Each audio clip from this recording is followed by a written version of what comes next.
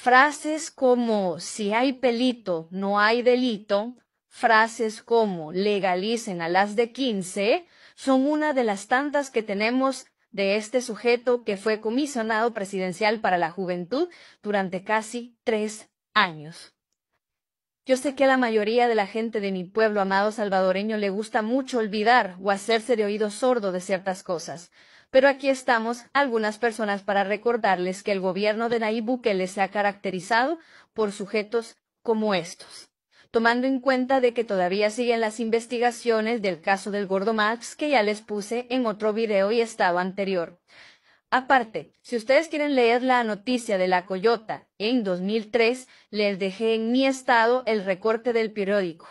La noticia apuntaba que la Coyota junto con el otro sujeto intentaban sacar a dos menores de edad del país.